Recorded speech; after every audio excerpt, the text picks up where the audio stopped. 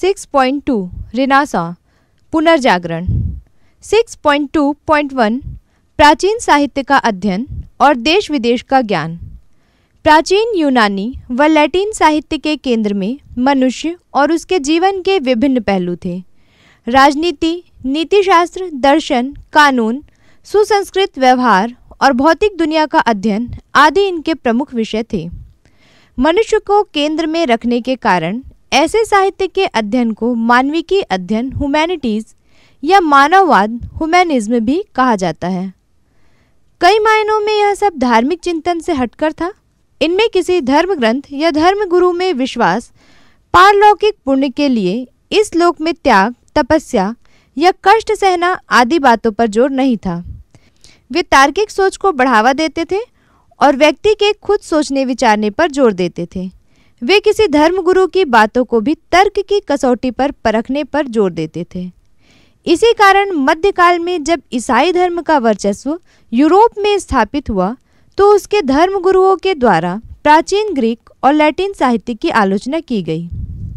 मध्यकालीन यूरोप में प्राचीन ग्रीक और लैटिन साहित्य का अध्ययन ईसाई चर्च के प्रभाव के कारण बहुत सीमित हो गया। यह साहित्य ईसा मसीह के जन्म के पहले रचा गया था और ईसाई धर्म के अनुरूप नहीं था। चर्च का आग्रह था कि इस लोक में सुख प्राप्ति की चिंता न करके परलोक में स्वर्ग प्राप्ति के लिए प्रयास करना चाहिए। चर्च के विरोध के चलते ये प्राचीन साहित्य पश्चिमी यूरोप में लुप्त होते गए। किंतु ईरान, इराक आदि इस्लामी देशों में ग्रीक और लैटिन साहित्य का अनुवाद और अध्ययन चलता रहा।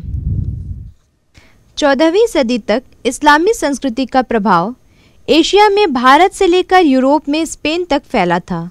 इन क्षेत्रों में जैसे चीनी, मध्य एशियाई, भारतीय, ईरानी, इराकी, मिस्री, यूनानी आदि कई संस्कृतियों व सभ्यताओं का मेल मिलाप हो रहा था।